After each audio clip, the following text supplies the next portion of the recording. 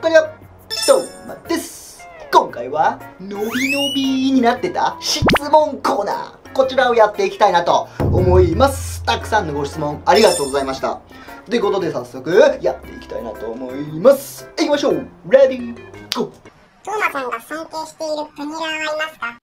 正直いないね YouTube 全体の中だったらもちろんこの人すごいなとかあーこんな風になりたいなっていう人はたくさんいるけどもプニラーって絞るとうーんいないね。だってさまあこんなこと言うと怒られるかもしれんけどさあのいやみんながみんなそうじゃないけどあのプニの動画上げてる人ってなんかもう詐欺多くない？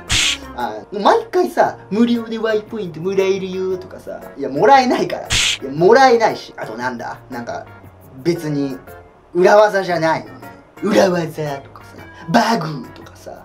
あのさもうそんなんばっかりじゃない。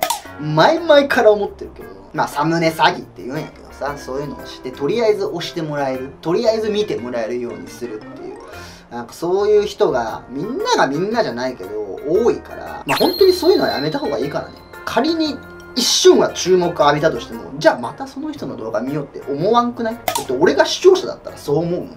だから俺がそういうことしだしたら逆に怒ってください。はい。